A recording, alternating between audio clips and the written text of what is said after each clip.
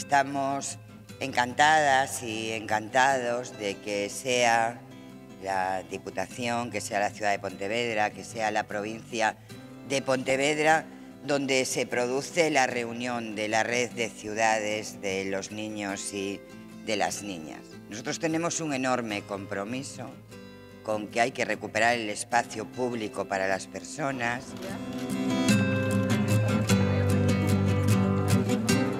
estuvimos en contacto continuamente con, con Francesco Tonucci, con el laboratorio, en la idea de hacer eh, una reunión muy eh, más eh, estructurada, eh, con más contenido y sobre todo eh, con eh, más capacidad de decisión hacia el futuro, en el sentido de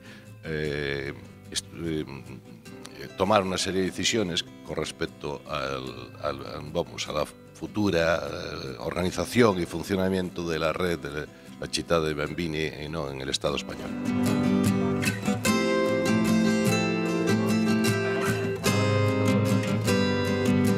La ciudad de Pontevedra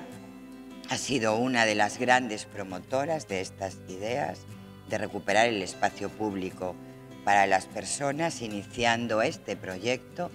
de ciudad comprometida con las ciudades de los niños y de las niñas. Y hoy es una ciudad donde la caminas y ves ¿no? a niños por todas las esquinas jugando libremente, mm, relacionándose libremente y haciendo que el espacio sea suyo y por lo tanto una ciudad mucho más amable para vivir.